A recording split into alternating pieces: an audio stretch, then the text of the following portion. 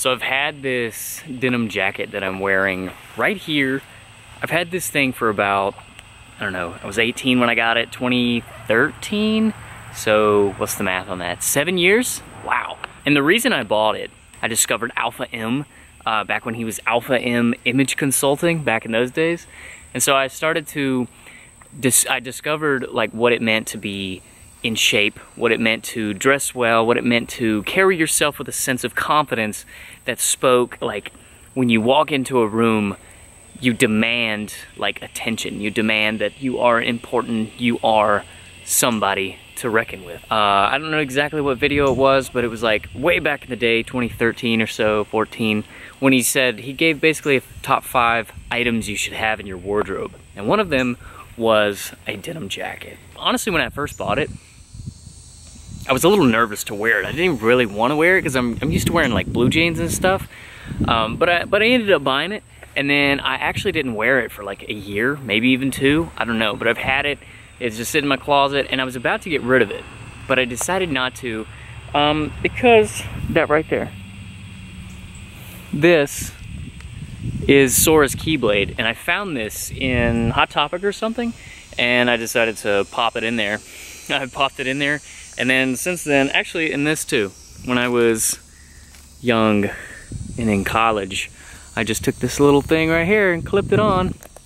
And since then, it just kind of turned into this like collection, this little like, this this gallery of pins and, and things that I don't know, things that mean something to me. And I've actually seen a lot of artists, a lot of people painting on the back of them. So like, that's one place that doesn't have any sort of customization, is the very back. I think it's time. I think it's time. Uh, I'm so nervous. this is the oldest piece of material. This is the oldest piece in my wardrobe, minus like high school memorabilia, but oh man. So I'm gonna do this. I'm super nervous about it. I don't even know what I'm gonna do. Let's do, oh, car's in the way. Car's coming, gotta move. let's, let's paint.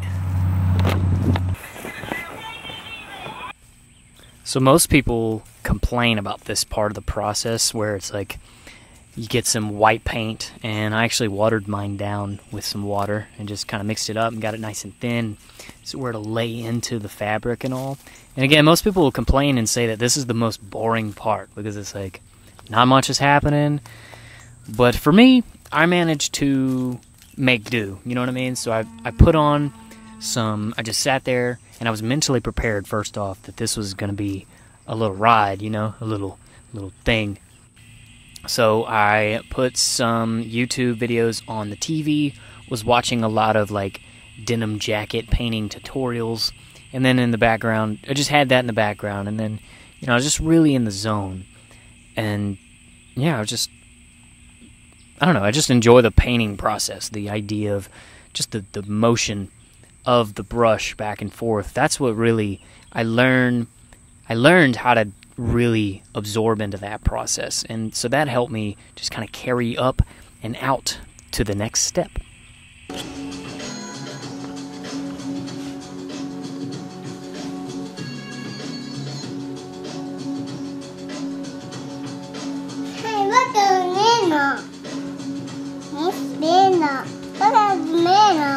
That banana.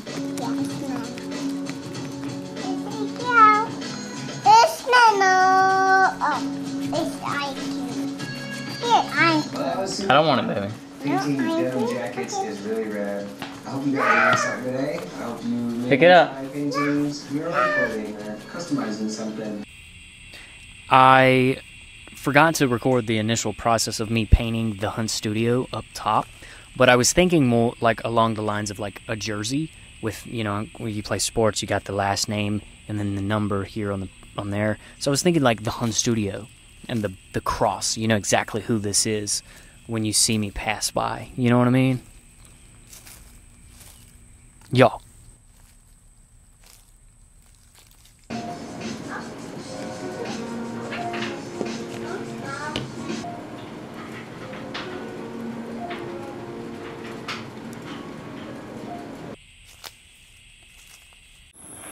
So I have a few. Um, I took some time ago, I took apart my Letterman jacket from high school. I like, I went to, I wanted to throw it away because it wasn't really, I wasn't wearing it, and, but I didn't want to get rid of it completely, you know, because I wanted to hold on to the memory and all of it, but, so what I did is I actually ripped off all of the patches, right? So I ripped the patches off and decided to keep them, and I figured I would do something with them, and today I think, I think we found I think we found something. We figured something out. Let's see what it let's see what this turns out to be.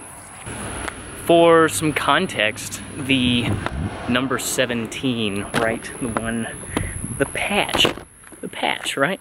It's my favorite number. It's my favorite number and it has been for a very, very long time. I'm talking the T-ball days. This was my this was my number when I played T-ball, baseball, football, all of it, all the way up until high school. That was my sports number, right?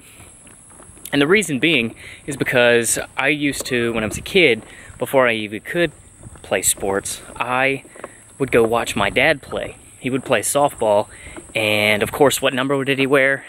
He wear he wore number 17. So, of course, naturally, what I did is I adopted his number. And so I think I don't know, it's a good cool way to remember, you know, just just it's a good I don't know, it just makes me feel good. The number brings really good memories, very fond memories of me playing ball, of my mom, of my dad, just a bunch of memories with this number tied in. And I think it's a perfect way to just kind of incorporate it into this jacket that has come, it's become like something that means so much to me. And I figured it's a good way to tie this in.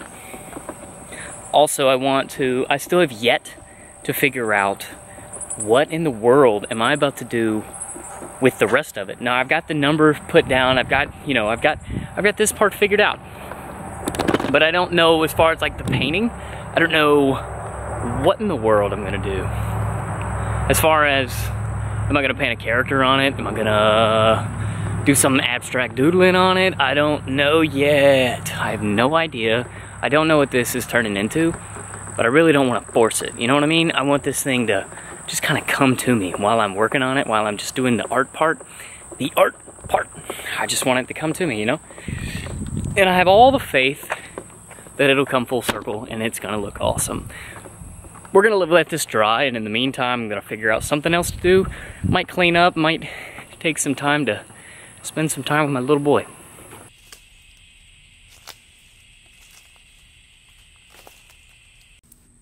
At this point of the process, we broke out the Posca pens, and with Asher's help, we managed to draw some little characters. In the bottom left corner, I drew a little face here. And actually, what happened is I needed some inspiration, right? So I had some, I wanted to put some depth into the piece, into the, just kind of solidify it as, and make it recognizable as mine. And so I actually referred back to my old sketchbooks and was just flipping through my sketchbooks kind of silently, just kind of doing my thing flipping through them, and then just like the pieces that strike me or struck me as like you know either made me laugh or just left a good impression. Still today, those are the ones that I went with. So this character was just like a little scribbly, scratchy character in one of my previous sketchbooks. And up at the top right corner, I just drew some like abstract triangles and just random shapes just to kind of solidify the whole piece.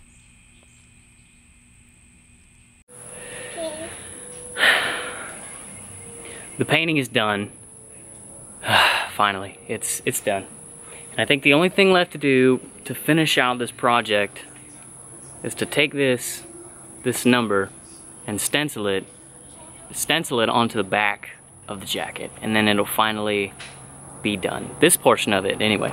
Obviously I might even I don't know what I'm gonna do in the future with it. I have no idea. But this is getting stitched onto this, onto the back, and it'll be done.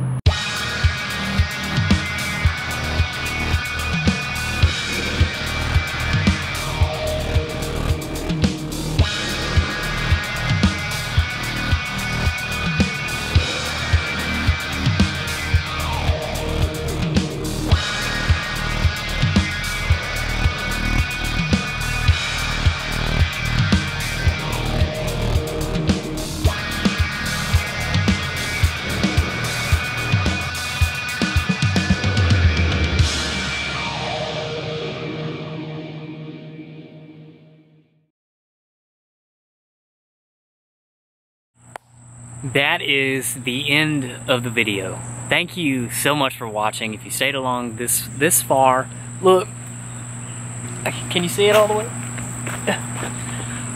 I've been wanting to do this for so long. Oh my gosh, I've been I've been wanting to do this and I finished it just in time. Like fall's coming around just around the corner and it's gonna do what it does and this is gonna keep me, you know, right at the perfect body temperature, right?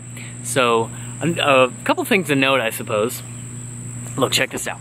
I am painting my pants. What I'm doing with these pants is as I'm painting, doing like different paint projects, I'm like taking my brush and slapping it on my knees, just pow, pow, pow, slapping around. And what happens is, I mean, this collective, like, it looks like, I don't know, it looks cool. I think it's neat. So what I'm gonna do is eventually once it like clogs up with paint, it just gets to the point where no more paint can get put on there. I'm gonna like do some customization to it, maybe like do something similar to this, and then have a whole like painted outfit. And then maybe, maybe I might even sell these. Or, I don't know, I might get a new pair. Do something now. I don't know what I'm gonna do yet. I have no idea. But if you want your jacket painted, let me know, because I'll do it up for you. I can take these as commissions and do these all day long because I had so much fun with this. This is great. So if you haven't subscribed, subscribe please. And I've got a lot of cool projects coming up. I got a pretty big commission, actually the biggest commission that I've ever been commissioned to do. I got paid today to do it. And so that's happening very soon. Lots of projects coming up, hopefully. So, uh, life is taking a bit of a turn for me, a bit of a directional thing, and I'm gonna kind of take you along as as it happens. So, I don't know what's, I don't know. So enjoy. Peace. See ya. See ya.